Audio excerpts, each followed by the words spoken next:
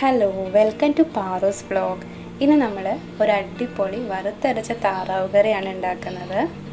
ഇന്ന് അച്ഛനാട്ടോ താറാവ് കറി ഉണ്ടാക്കുന്നത്. അച്ഛനൊരു അടിപൊളി കുക്കാണ്.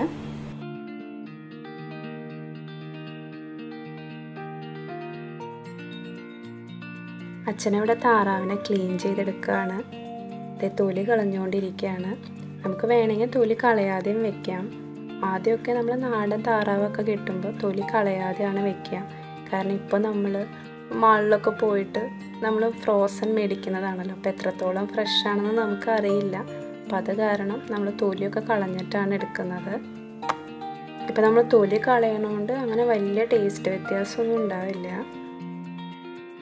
താറാവ് നന്നായി ക്ലീൻ ചെയ്ത് ഇതേമാതിരി ചെറിയ പീസുകളാക്കി കട്ട് ചെയ്തെടുത്തിരിക്കുകയാണ്. ഇതിൽ വെള്ളമെല്ലാം വാരാൻ വേണ്ടിയിട്ട് ഒരു അരിപ്പപ്പാത്രത്തിലോട്ട് വെച്ചിരിക്കുവാണ്.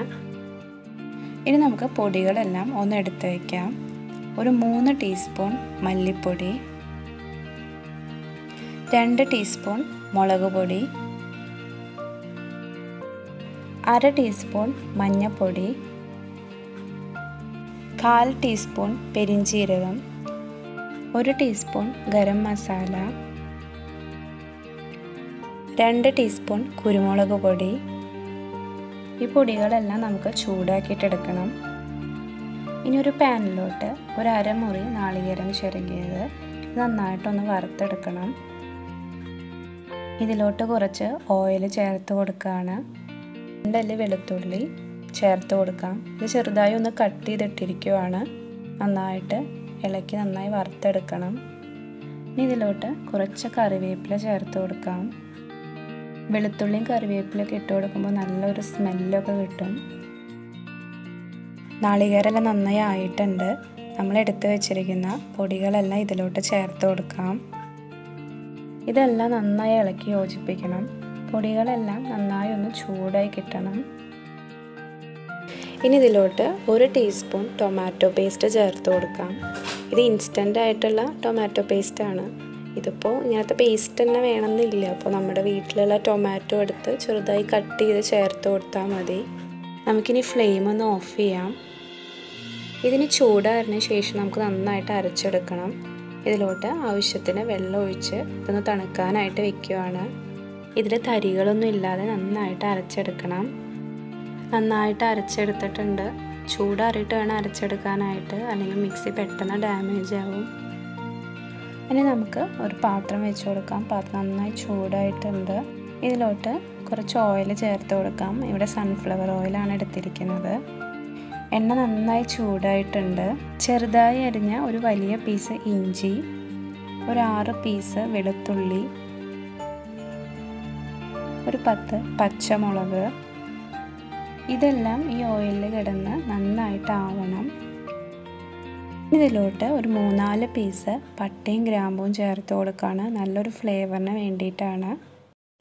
ഇനി ഇതിലോട്ട് കുറച്ച് നാളികേരക്കൊത്ത് ചേർത്ത് കൊടുക്കുകയാണ് ഒരു പകുതി മുറി നാളികേരമാണ് എടുത്തിരിക്കുന്നത്.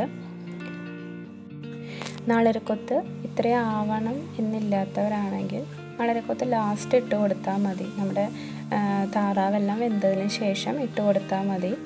ഞങ്ങൾക്ക് നാളരക്കൊത്ത് നന്നായി ഒന്ന് ആവുന്നതാണ് ഇഷ്ടം. അത് കാരണമാണ് ഇപ്പം തന്നെ ഇട്ട് കൊടുത്തിരിക്കുന്നത്. ഇനി ഇതിലോട്ട് രണ്ട് സവോള അരിഞ്ഞത് ചേർത്ത് കൊടുക്കാം. ഇതേമാതിരി നീളനെയാണ് അരിഞ്ഞെടുത്തിരിക്കുന്നത്. കുറച്ച് കറിവേപ്പിലയും കൂടി ഇതിന്റെ ഒപ്പം ചേർത്ത് കൊടുക്കുന്നുണ്ട്.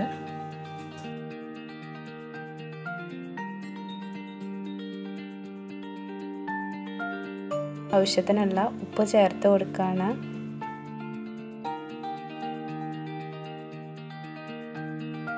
രണ്ട് തക്കാളി അരിഞ്ഞത് ചേർത്ത് കൊടുക്കുകയാണ് നന്നായിട്ട് ഇളക്കി യോജിപ്പിക്കണം. കുറച്ച് സമയം നമുക്കിതൊന്ന് മൂടി വെച്ചിട്ടൊന്ന് വേവിച്ചെടുക്കാം. തക്കാളി എല്ലാം നന്നായി ആയിട്ടുണ്ട്. നമുക്കിനി ഇതിലോട്ട് നമ്മൾ കഴുകി മാറ്റി വെച്ചിരിക്കുന്ന താറാവ് ചേർത്ത് കൊടുക്കാം. നന്നായി ഇളക്കി യോജിപ്പിച്ചെടുക്കണം. ഒരു നാലഞ്ച് പീസ് കറുവപ്പട്ടയുടെ ലീഫില്ലേ അത് ചേർത്ത് കൊടുക്കുകയാണ് നമ്മൾ അരച്ച് വെച്ചിരിക്കുന്ന കൂട്ട് ചേർത്ത് കൊടുക്കാം. ഇതെല്ലാം നന്നായി മിക്സ് ചെയ്തിട്ട് എടുക്കണം. ഇതിപ്പോൾ നല്ല തിക്ക് ഗ്രേവിയാണ് ഇതിലോട്ട് ആവശ്യത്തിന് വെള്ളം ഒഴിച്ച് നമുക്ക് ഈ താറാവ് നന്നായി വേവിച്ചെടുക്കണം. ഇത് നന്നായി തിളച്ച് വന്നിട്ടുണ്ട്.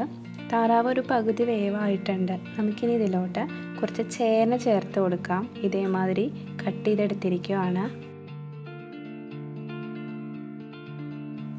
ഇനി നമുക്ക് കുറച്ച് സമയം ഇതൊന്ന് മൂടി വെച്ച് നന്നായിട്ട് വേവിച്ചെടുക്കണം. ഒരു മുക്കാൽ മണിക്കൂർ എടുത്തു താറാവ് കറി ഉണ്ടാക്കാനായിട്ട്. കാരണം അത് ഇത്തിരി ചേന ഒത്തിരി വേവ് കുറവായിരുന്നു.